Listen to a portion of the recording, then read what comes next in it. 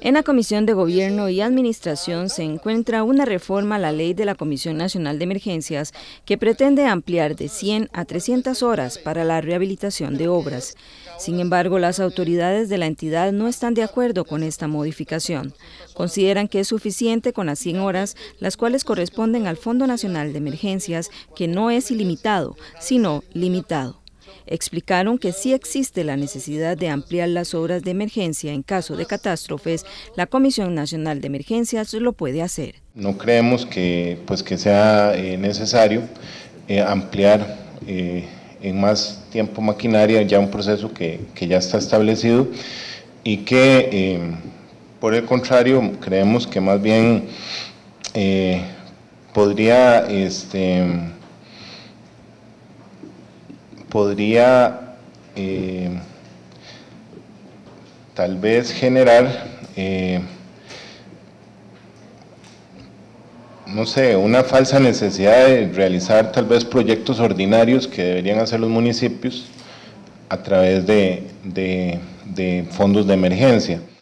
De ahí que cualquier reforma a la ley eh, nosotros los, los, abogados de la comisión tendemos a verla con mucho cuidado porque fue una ley que salió muy eh, completa del, proceso de evolución eh, constitucional.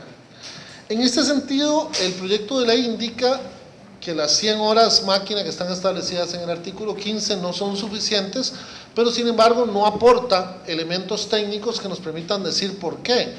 No se indican casos específicos, no se indican eh, razones técnicas o razones presupuestarias que justifiquen esta, esta modificación. El diputado de la zona sur, Jorge Rodríguez, refutó los argumentos de los personeros de la Comisión Nacional de Emergencias. Hay municipios este, como en Heredia, que lo que reciben de la 8114 son 20 millones de colones y se les van 16 millones de colones en el pago de la unidad técnica vial.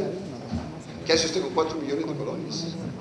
Y yo le puedo demostrar con documentos, si ustedes lo que dicen, este, le puedo mostrar con documentos los pagos que hizo la municipalidad por la atención de una emergencia por la no declaración de la misma.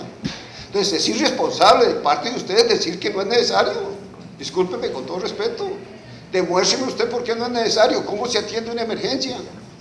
¿Cómo, cómo hace, cómo hace un, un alcalde para atender una emergencia donde no hay recursos, señoras y señores diputados?